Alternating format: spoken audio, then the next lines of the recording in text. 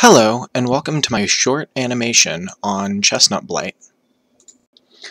This short video will hopefully help you understand the life cycle of chestnut blight caused by the pathogen Cryphonectria parasitica.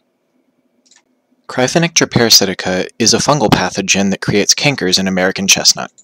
Because of this, the American chestnut can only survive in the ground. Chestnut blight produces two kinds of spores. The first are called ascospores. They are characteristic of most of Ascomycota.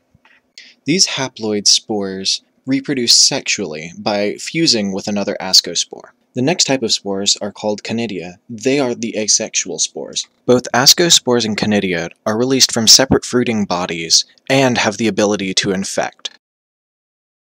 These spores are carried by multiple forms of transportation. They are carried by wind, rain, and animals. Cryphonectria parasitica is a necrotroph, meaning it dines only on dead tissue. This also means that it cannot infect the plant without a wound. These wounds can be created by natural means or by wood-boring wasps, as was found in a recent study. As the pathogen grows, it leaves necrotic lesions under the bark of the tree. This will produce a gall, which in turn produces more fruiting bodies for infection. No cure has been found for chestnut blight, though some practices can limit the disease. However, these mainly include the use of hybrids. Though with new methods like CRISPR coming along, it could help find a solution to chestnut blight.